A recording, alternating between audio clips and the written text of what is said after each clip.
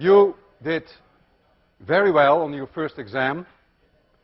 I was hoping for an average of about 75, but class average was 89.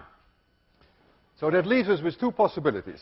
Either you are very smart, this is an exceptional class, or the exam was too easy. Now this exam was taken by three instructors way before you took it. None of them thought it was too easy. So I'd like to think that you are really an exceptional class, and I'd like to congratulate you that you did so well. Here is a histogram of the scores. If we had to decide on this test alone, forgetting your quizzes, forgetting your homework, on this test alone, the dividing line between pass and fail would be 65. That means that 5% of the class would fail, which is unusually low. Normally that is around 15%. Now time will tell whether you are indeed exceptionally smart or whether the exam was too easy. The good news also is, two pieces of good news, that we promise that the books will arrive at the Coop today. Today we're going to talk about springs, about pendulums, and about simple harmonic oscillators, one of the key topics in 801. If I have a spring, and this is the relaxed length of the string, spring. I call that x equals 0, and I extend the string, the spring with a p, then there is a force that wants to drive this spring back to equilibrium. And it is an experimental fact that many springs, we call them ideal springs, for many springs this force is proportional to the displacement x. So if this is x, if you make x three times larger, that restoring force is three times larger. This is a one-dimensional problem, so to avoid the vector notation, we can simply say that the force therefore, is minus a certain constant, which we call the spring constant. This is called the spring constant. And the spring constant has units newtons per meter. So the minus sign takes care of the direction. When x is positive, then the force is in the negative direction. When f is negative, the force is in the positive direction. It is a restoring force. Whenever this linear relation between f and x holds, that is referred to as Hooke's law. How can we measure the spring constant? That's actually not too difficult. I can use gravity. Here is the spring in its relaxed situation.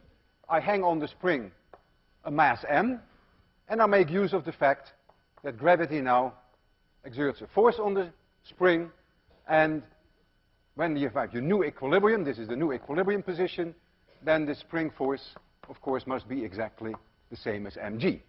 No acceleration when the thing is at rest. And so I could now make a plot whereby I could have here x, and I could have here this force F, which I know because I know the masses. I can change the masses. I can go through a whole lot of them. And you will see data points which scatter around a straight line.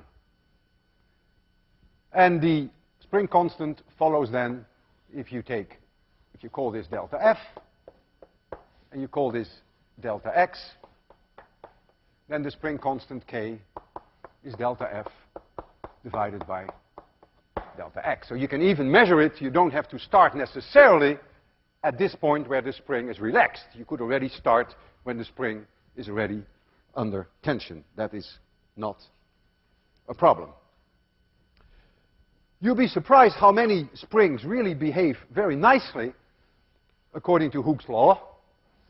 Uh, I have one here. That's not a very expensive spring. You see it here. And there is here a holder onto it, so it's already a little bit under stress. That doesn't make any difference. These marks here are 13 centimeters apart, and every time that I put one kilogram on, you will see that it goes down by roughly 13 centimeters. It goes down to this mark. I put another kilogram on, goes down to this mark. I put another kilogram on, and it goes back to this mark, all the way down.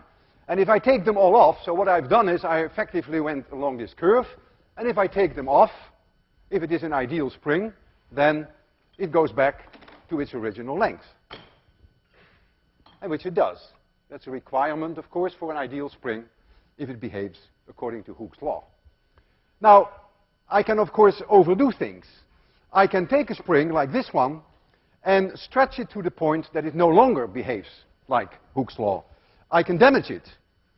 Uh, I can do permanent deformation. Look, that's easy. For sure, Hooke's law is no longer acting. Look how much longer this spring is than it was before. So there comes, of course, a limit how far you can go before you permanently deform the spring. What I have done now with that spring, probably in the beginning, I went up along this straight line, and then something like this must have happened. I got a huge extension. My force did not increase very much. And then when I relaxed, when I took my force off, the spring was longer at the end than it was at the beginning. So I have a net extension which will always be there. And that's not very nice, of course, to do that to a spring. So Hooke's law holds only within certain limitations. You have to uh, obey a certain amount of discipline. There are ways that you can also measure the spring constant in a dynamic way, which is actually very interesting. Um, I have here a spring, and this spring, this is x equals 0, and I attach now to the spring a mass m. This has to be on a frictionless surface. And you will see when I extend it over a distance x that you get your force, your spring force that drives it back. We have, of course, gravity, mg, and we have the normal force from the surface. So there is in the, in the y direction, there is no acceleration, so I don't have to worry about the forces in the y direction at all. If I let this thing oscillate, I, let, I release it, it will start to oscillate about this point back and forth. Then, as I will show you now, you will find that the period of oscillation, the time for one whole oscillation, is 2 pi times the square root of the mass m divided by the spring constant k. I will derive that. You will see that shortly. In other words, if you measured the period and you knew the mass, then you can calculate k. Alternatively, if you knew k and you measure the period, you can calculate the mass, even in the absence of gravity. I don't use gravity here. So a spring always allows you to measure uh, a mass, even in the absence of gravity. The period that you see, the time that it takes for this object to oscillate once back and forth, is completely independent of how far I move it out, which is very non-intuitive, but you will see that that comes out of the derivation. There is no dependence on how far I move it out. So whether I oscillate it like this, or whether I oscillate it like this, as long as Hooke's law holds, you will see that the period is independent of what we call that amplitude. So I'm going to derive the situation now for an ideal case. Ideal case means Hooke's law must hold. There is no friction, and the spring itself has negligible mass compared to this one. Let's call it a massless spring. So now I'm going to write down Newton's second law. ma, which is all in the x direction, equals minus kx. a is the second derivative of position, for which I will write x double dot, mx double dot. One dot is the first derivative, that's the velocity. Two dots is the acceleration. Plus kx equals 0. I divide by m, and I get x double dot plus k over m times x equals 0. And this is arguably the most important equation in all of physics. It's a differential equation. Some of you may already have solved differential equations. The outcome of this, you will see, is very simple. x is, of course, changing in some way as a function of time. And when you have the correct solution, for x as a function of time, and you substitute that back into that differential equation, that equation will have to be satisfied. What would a solution be to this differential equation? I'm going to make you see this oscillation first. I'm going to make you see x as a function, and I'm going to do that in the following way. I have here a spray paint can, which is suspended between two springs, and I can oscillate it vertically, which is your x direction, like that. So x changes with time. The time axis I will introduce by pulling on this string. When the spray paint is going to spray, I'm going to pull on that string, and if I can do that at a constant speed, then you get horizontally a time axis, and of course vertically, uh, vert vertically you will get the position of x. So I want you to just see qualitatively what kind of a weird curve x as a function of time is, which then will have to satisfy that differential equation. All right, it's always a messy experiment because the paint is dripping, but I will try to get the spray paint going. There we go. Okay. Now pull. All right. Could you give me a hand? Yeah, could you please? I'll cut it here and then you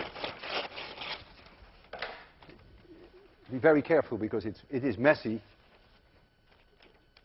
Or let's put it, let us take it out this way. Yeah. Just walk back. Just walk. Yeah, great. Yeah, hold up the top so that you can see it. Fine. Okay. What, is, what does it remind you of? Sinusoids. It reminds me of a cosinusoid, by the way. Sinusoid or cosine, same thing. All right, well, let's try to substitute in that equation a sinusoid or a cosine solution. Whichever one you prefer makes no difference.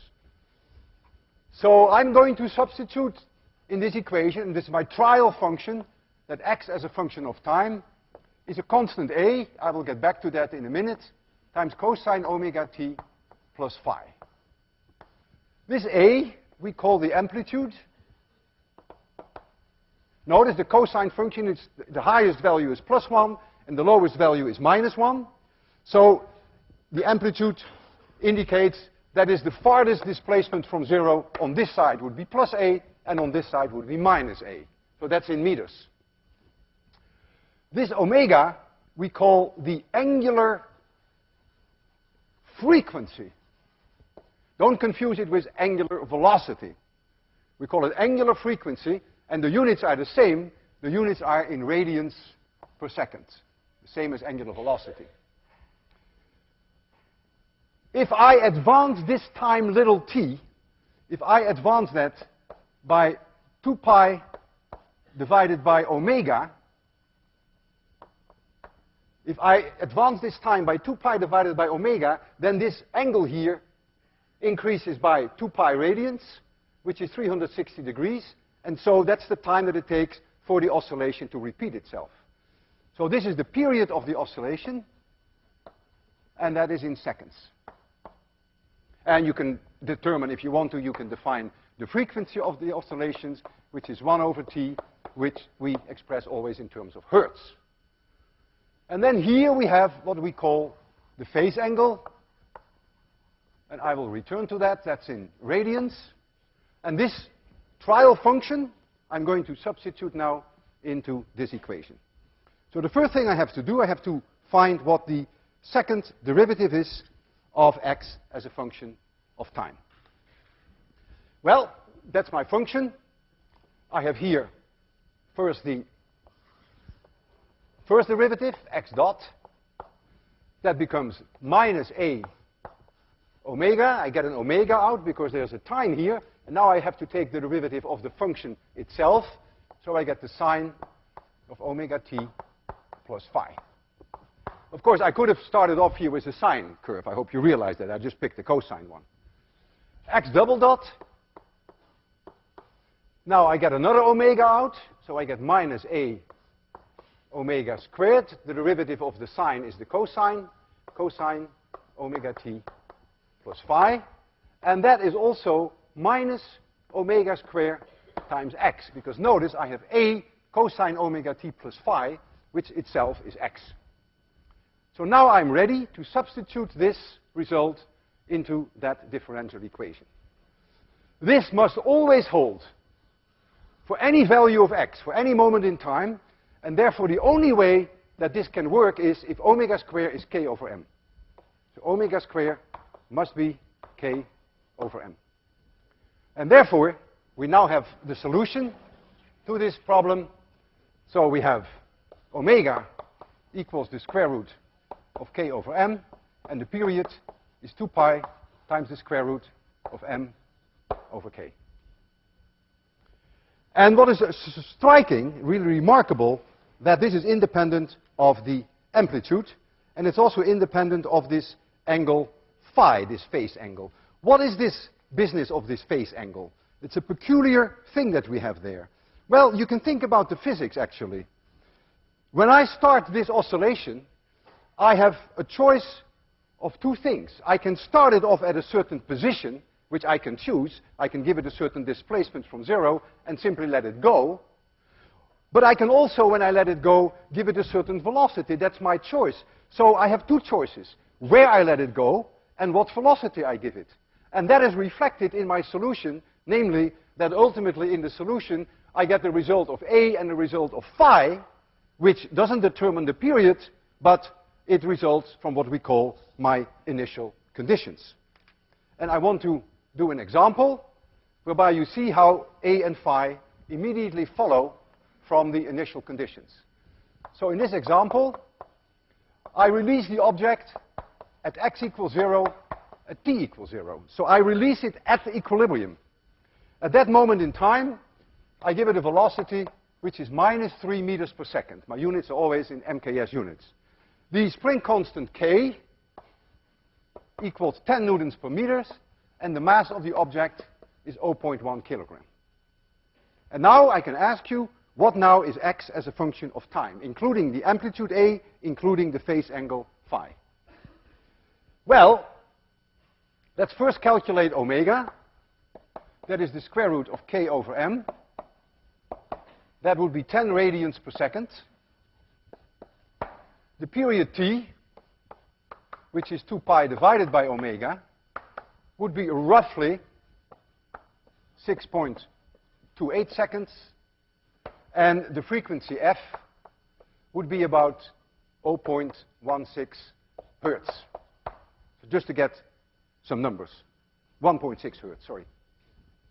Uh, this is not my day. This is 0.628, and this is 1.6 hertz. 2 pi divided by omega, you can see this is 10. 6 divided by 10 is about 0.6. All right, so now I know that at t equals 0, x equals 0.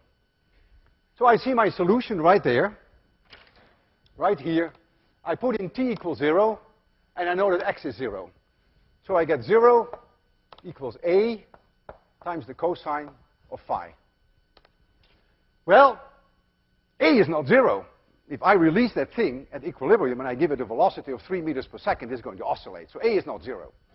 So the only solution is that cosine phi is 0, and so that leaves me with phi is pi over 2, or pi is 3 pi. Phi is 3 pi over 2. That's the only two possibilities.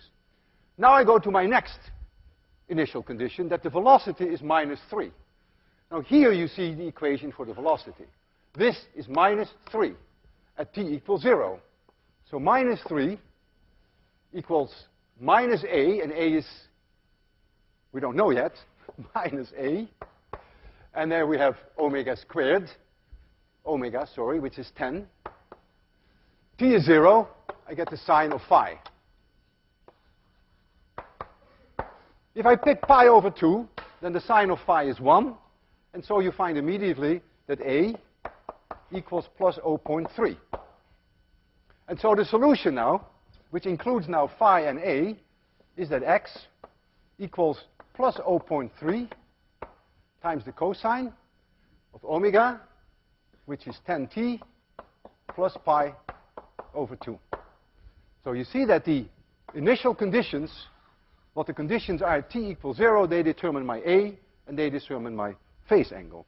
If you had chosen this as the phase angle, 3 pi over 2, that would have been fine. You would have found a minus sign here, and that's exactly the same. So you would have found nothing different. I want to demonstrate to you that the period of oscillations, non-intuitive as that may be, is independent of the amplitude that I give the object. And I want to do that here with this air track. I have a, an object here. This object has a mass 186 plus or minus 1 gram. Call it M1. I'm going to oscillate it, and we're going to measure the period. But instead of measuring one period, I'm going to measure 10 periods, because that gives me a smaller uncertainty, a smaller relative error in my measurements. So I'm going to do it as an amplitude, which is 15 centimeters. Let's make it 20 centimeters. So I get 10t, I get a certain number, and I get an error, which is my reaction error, which is about a tenth of a second. That's about the reaction error that we all have, roughly. Then I will do it at 40 centimeters. We get a 10t, and we get, again, plus or minus 1.0.1 seconds. And we'll see how much they differ. They should be the same if this is an ideal spring within the uncertainty of my measurements. You see the timing there. I'm going to give it a 20 centimeter offset, which is here. And then I will start it when it comes back here. So I will allow it one oscillation first.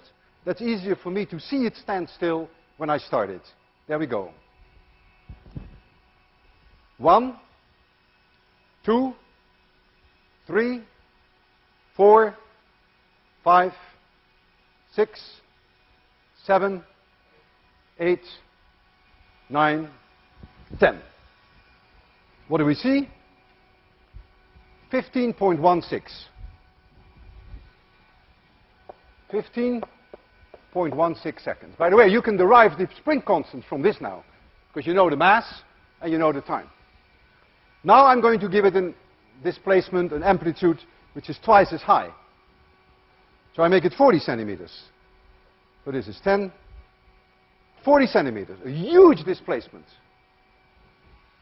Now, one, two, three, four, five, six, seven, eight, nine, ten.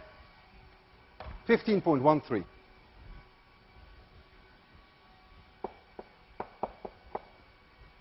Fantastic agreement within the uncertainty of my measurements. They are within three hundredths of a second. Of course, if you try it many times, you won't always get that close because my reaction time is really not much better than a tenth of a second. Now, I will show you something else, which is quite interesting, and that is how the behavior of the period is on the, on the mass of the object. I have here another car, which weighs roughly the same. Uh, I'm going to add the two together, and so we get N2 is about 372 plus or minus 1 gram. The plus or minus 1 comes in because our scale is no more accurate than 1 gram. So we put them both on the scale, and we find this to be the uncertainty. So now, I'm going to measure the 10 periods of this object with mass m2, so twice the mass. So that should be the square root of m2 divided by m1 times 10 times the period of m1. And so I can make a prediction because this is the square root of 2 and I know what this is. So I will take my calculator and I will take the square root of 2 and I multiply that by, uh, let's take 15.15. And so that comes out to be 21.42 21.42. It's not clear that this 2 is meaningful. And now comes the $64 question. What is the uncertainty? This is a prediction. And this now becomes a little tricky. So what I'm telling you now may confuse you a bit. It's not meant to be, but I really won't hold you responsible for it. You may now think that the uncertainty in this measurement follows from the uncertainty in this, which is true, which is about 0.6%, and from the uncertainty in this. So this has about an uncertainty of 0.6%. I got it low because I measured 10 oscillations, you see. The uncertainty is only 1 out of 150, which is low. You may think that the uncertainty in there equals the square root of 372 plus or minus 1 divided by 186 plus or minus 1. And now you may argue, and it's completely reasonable that you would argue that way, you would say, well, this is roughly a quarter of a percent error here under the square root, and this is roughly half a percent error. 1 out of 200 is about half. So you would add up the two errors, a quarter plus half, that's about 0.7, and because of the square root, that becomes 0.35%, and that's wrong. And the reason why that is completely wrong, that has to do with the fact that these two errors are coupled to each other. See, we, the 186 is included in the 372. The best way I can show you this, suppose I measured M1 divided by M1, which would be 186 plus or minus 1 divided by 186 plus or minus 1. That number is 1 with 100 zeros. This number is 1. You, you have the mass of one object, you divide it by the same object. Whereas if you would say, ah, this is a half a percent error, and this is a half a percent error, you would say the ratio has an error of 1%, and that's not the case. So I will not bother you with that. I will not hold you responsible for that. But it turns out that if you do it correctly, and you take the error of this into account of about 0.6%, that the error in this ratio is really much less than 0.2%. You can almost forget about it. I will allow generously for a 1% error in the final answer. And so I stick to my prediction that the 10t of double the mass is going to be like this. And now we're going to get the observation. 10t times m2, which is double the mass. And that, of course, always has my uncertainty of my reaction time. There's nothing I can do about that. And we will compare these two numbers. So I will put the, the other mass on top of it. Comes here. Tape them together so that they won't fall off. There we go.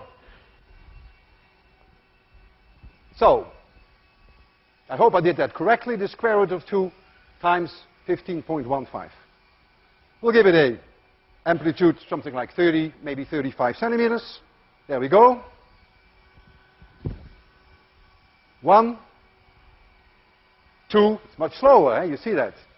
Three, four, five, six, seven, eight, nine, I'm not looking, ten.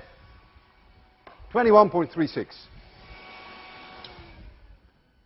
21.36. You can round it off to 4 if you want to, and you see that the agreement is spectacular. Within the uncertainty of my measurements, comes out amazingly well. You could have removed this 2, of course, because if you have an uncertainty of 0.2 here, it's a little silly to have this little 2 hanging there. But you see that indeed this spring is very close to an ideal spring, it obeys Hooke's law, and it is also nearly massless. Here is the pendulum. Here's the mass, and it's offset at an angle theta. The length of the pendulum is L, the length of the string. There is gravity here, mg, and the other force on the object, the only other force is the tension. Don't confuse that with period T. This is tension T. It's in newtons. Those are the only two forces. There is nothing else. The thing is going to arc around like this and it's going to oscillate.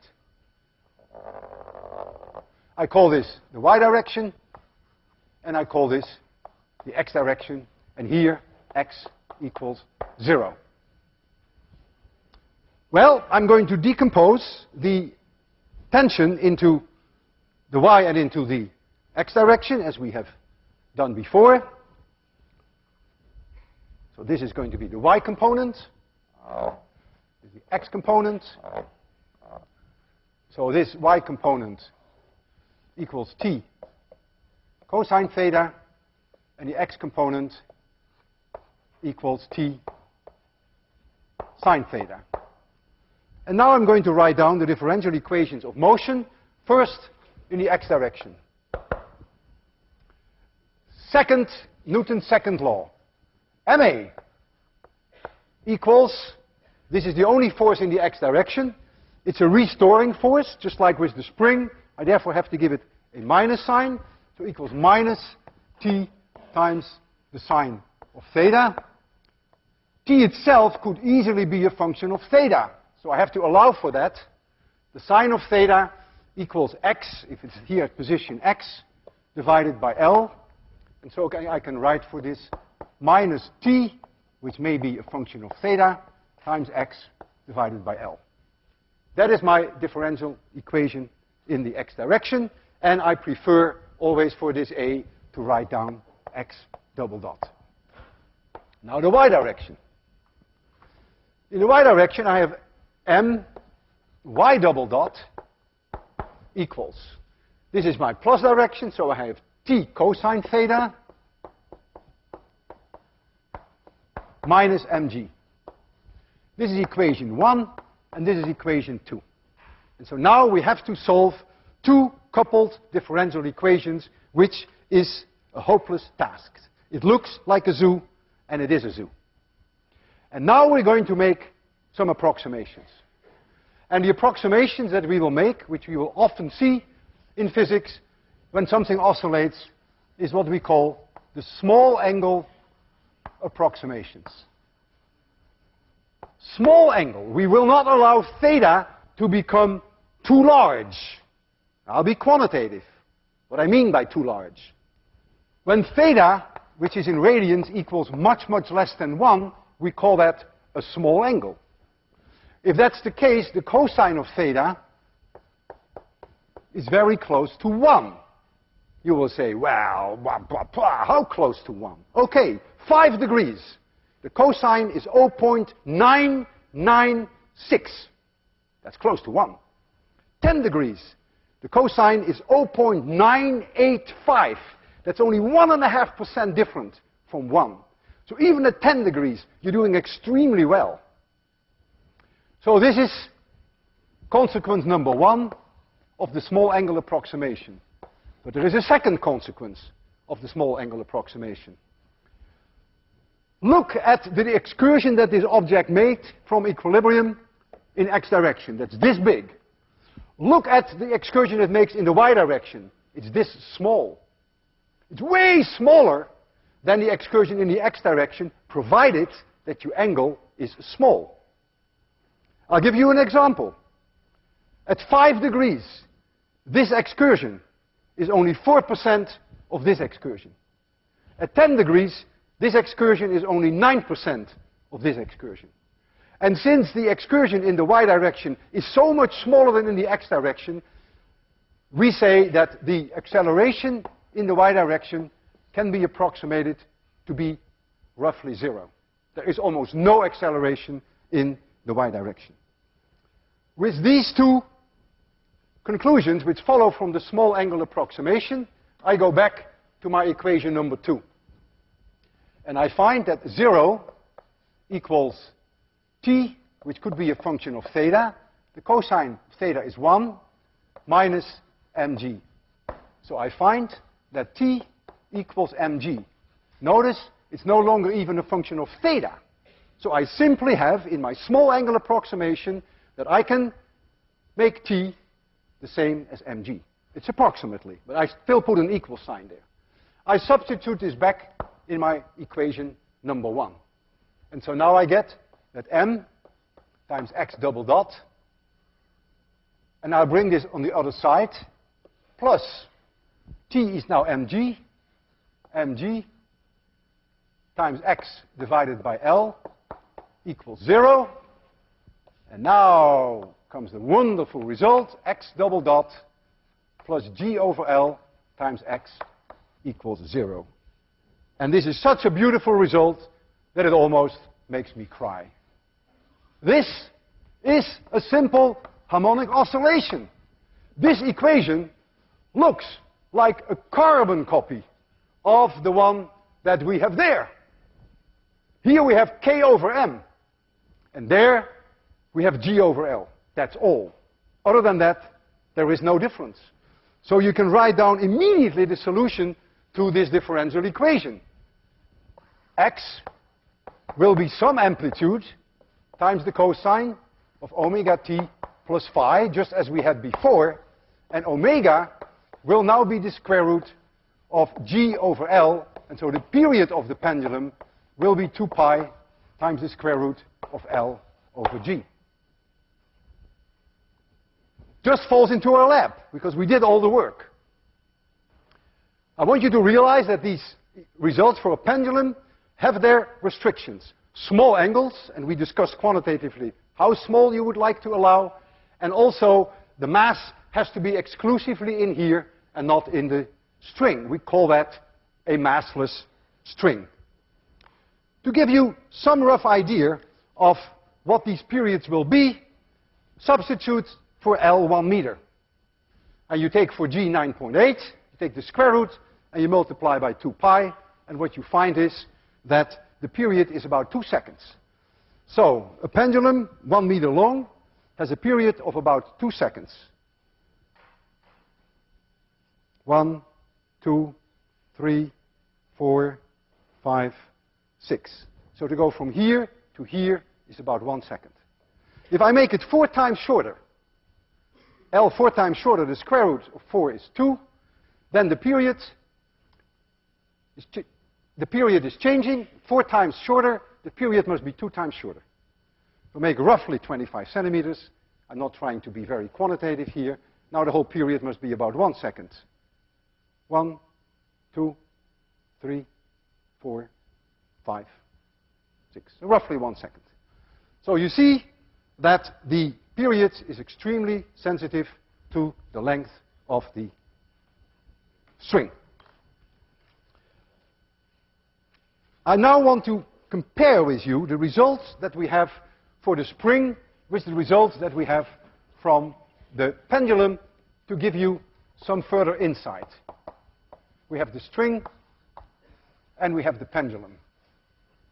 And I'm only going to look at the period t, which here is 2 pi divided by the square root of m over k, and here is 2 pi times the square root of L over G. If I look here, there is a mass in here. If I look here, it's independent of the mass. Why is there a mass in here? That is very easy to see.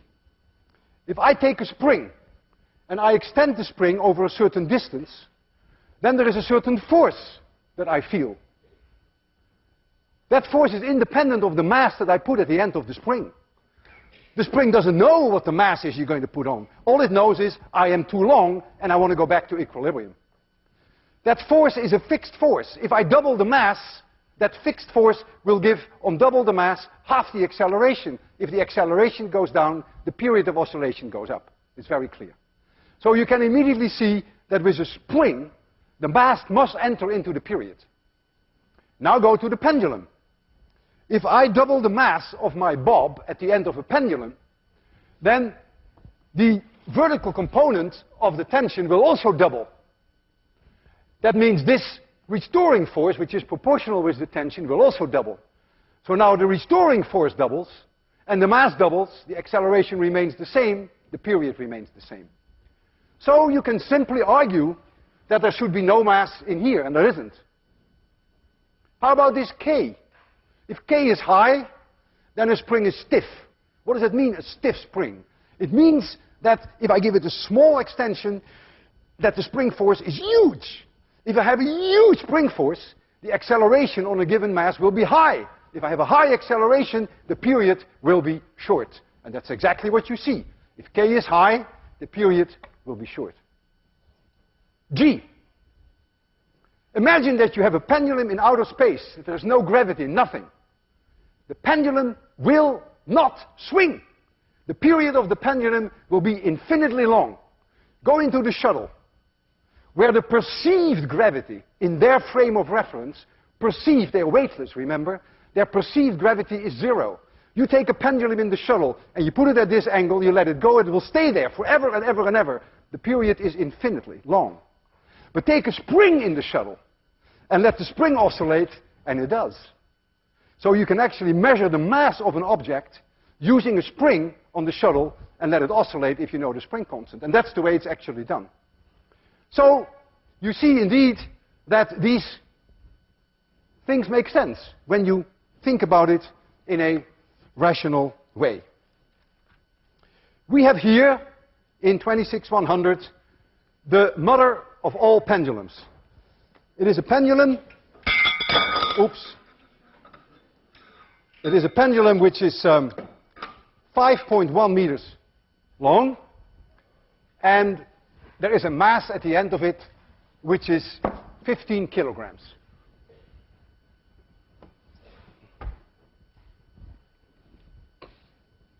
The length is 5.18 meters, and the uncertainty is about 5 centimeters. We can't measure it any better. And the mass at the end of it, which doesn't enter into the period, is about 15 kilograms. The period, which is 2 pi times the square root of L over G, if you substitute in your length of 5.1 meters, you will find 4.57 seconds. 4.5 seconds. Since you have a 1% error in L, you're going to have a half a percent error in your period, so that is about 0.02 seconds. So this is my prediction.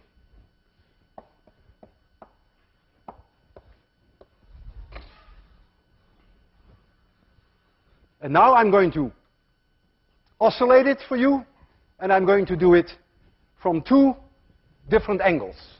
I'm going to do it at a 5 degree angle, and I'm going to do it at a 10 degree angle. In order to get my relative error down, I will oscillate 10 times. So I'm going to get at an angle theta maximum of roughly 5 degrees, I get 10t equals something plus or minus my reaction time, which is 0.1 of a second. And then I will do it from 10 degrees, and I will do again 10t, and again my reaction time is not much better than 0.1 seconds. So let's do that first. I will move this out of the way, because if that 15 kilogram object hits this, that is not funny. All right. Zero.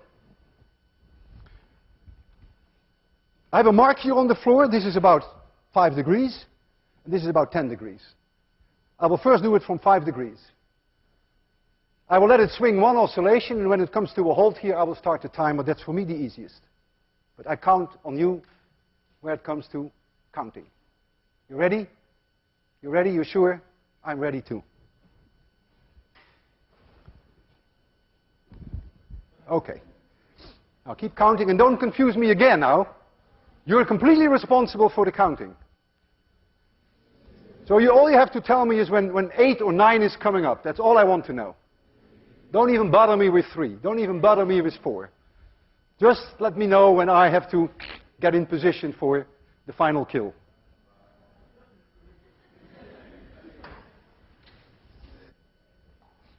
Notice there's almost no damping on this pendulum. The amplitude remains almost the same. Whereas with the, with the air track, you could actually see that there was already some kind of friction. It was, where are we now?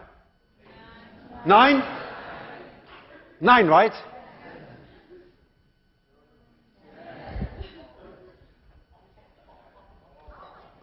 Forty-five point seven zero.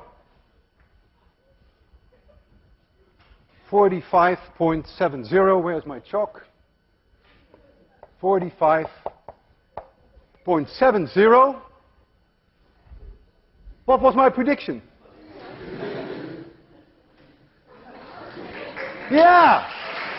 Yeah. Yeah, exactly. You get the picture. That is pure luck, because my accuracy is no better than a tenth of a second. Now we do from 10, 10 degrees.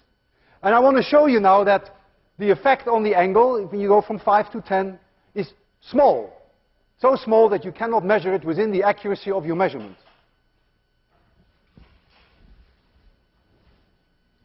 Yeah! Okay.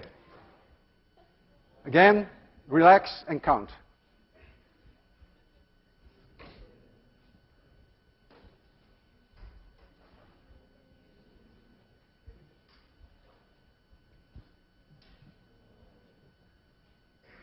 Ah, nerve-wracking.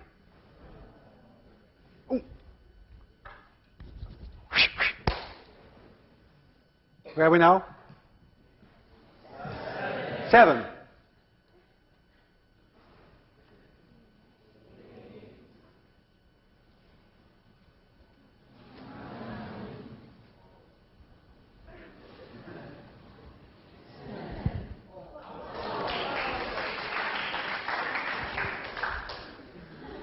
Did you expect anything else?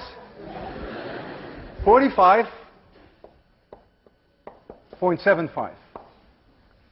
One of the most remarkable things I just mentioned to you is that the period of the oscillations is independent of the mass of the object. That would mean if I join the bob and I swing down with the bob, that you should get that same period. Or should you not? I'm asking you a question before we do this awful experiment. Would the period come out to be the same or not? Some of you think it's the same. Have you thought about it? That I'm a little bit taller than this object, and that therefore, maybe effectively the, the length of the string has become a little less, if I sit up like this. And if the length of the string is a little less, the period would be a little shorter. Yeah? Be prepared for that. On the other hand, I'm also, pre well, I'm not quite prepared for it. I will try to hold my body as horizontal as I possibly can in order to be at the same level as the bob. I will start when I come to a halt here. There we go. Now, you count. This hurts.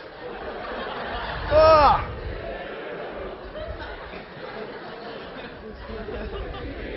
I want to hear you loud. Oh. Ah. ah, thank you.